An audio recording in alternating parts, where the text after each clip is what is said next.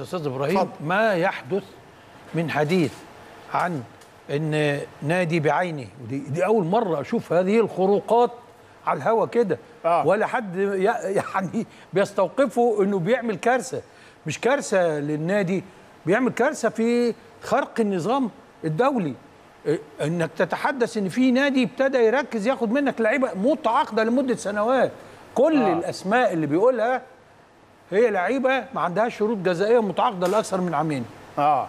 يجي يتحدث الآن في ظل احتقان يعني ال- الكابتن رمضان صبحي. لا عقده انتهى موجود في هيدرسفيلد.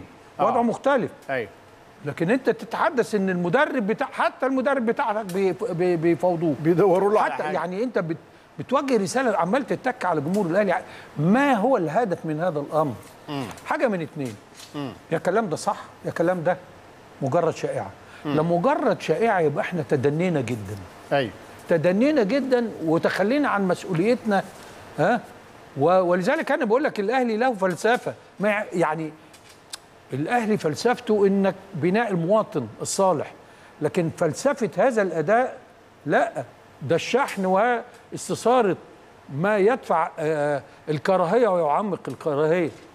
طيب لو كلام ده آه، صح. لا لو كلام ده صح بقى خرجنا من التدني إلى ما هو الجريمة.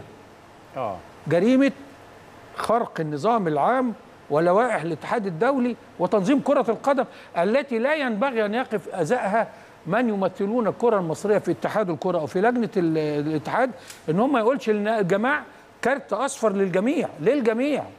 خلي بالكم اللي أنتوا بتقولوا ده ممكن تتحاسبوا عليه. ممكن يتحاسبوا عليه لكن كمان الرأي العام بيحاسب.